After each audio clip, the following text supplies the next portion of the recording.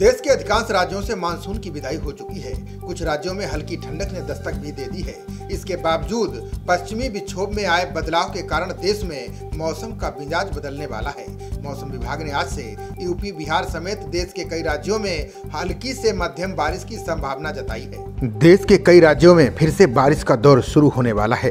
मौसम विभाग के अनुसार पश्चिमी विक्षोभ के सक्रिय होने से एक बार फिर हिमालयी इलाकों में बारिश की संभावना बन रही है। इसके चलते 13 से 17 अक्टूबर के दौरान उत्तराखंड, हरियाणा, उत्तर प्रदेश और राजस्थान के अलग अलग हिस्सों में हल्की बारिश होने का अनुमान लगाया गया है। वहीं जम्मू कश्मीर, बाल्टिस्तान, मुजफ्फराबाद, हिमाचल और पंजाब के कुछ हिस्सों में मध्यम बारिश की संभावना है। मौसम विभाग ने पहाड़ी इलाकों में बर्फबारी और बारिश को लेकर अलर्ट जारी किया है। उत्तर भारत के चार पहाड़ी राज्यों में आने वाले दो से तीन दिनों में बारिश और बर्फबारी होगी। इस दौरान गरज के साथ बौछारें पड़ने की संभावना है। वहीं हिमाचल और जम्मू के कई इलाकों में मूसलाधार बारिश और बर्फबारी की संभावना जताई गई है। इसके अलावा तमिलनाडु और पुडुचेरी के अलग अलग हिस्सों में भारी बारिश होने के आसार हैं। इन राज्यों में चौंसठ दशमलव पाँच मिलीमीटर से एक सौ पंद्रह दशमलव पाँच मिलीमीटर तक बारिश की संभावना है।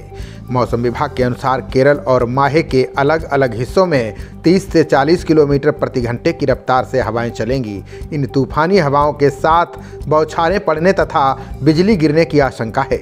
नागालैंड, मणिपुर, मिजोरम, त्रिपुरा तटीय और दक्षिण आंतरिक कर्नाटक तथा कराईकल के अलग अलग हिस्सों में बारिश के साथ वज्रपात के भी आसार जताए गए हैं।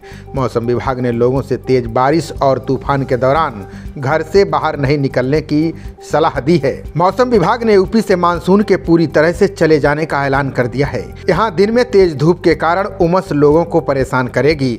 सुबह शाम मौसम सुहावना रहेगा। मौसम विभाग का कहना है कि राज्य में 15 अक्टूबर से गुलाबी ठंड का आगाज़ हो जाएगा। इसके अलावा बिहार, झारखंड, छत्तीसगढ़ के कुछ और हिस्सों से दक्षिण पश्चिम मानसून की विदाई के लिए परिस्थितियाँ अनुकूल बनी हुई हैं। वहीं पश्चिम बंगाल में गंगा के तटीय इलाकों और महाराष्ट्र से मानसून की लगभग विदाई होने का पूर्वानुमान है। खबरों का सिलसिला जारी रहेगा। देखते रहिए जनप्रवाद। नमस्कार।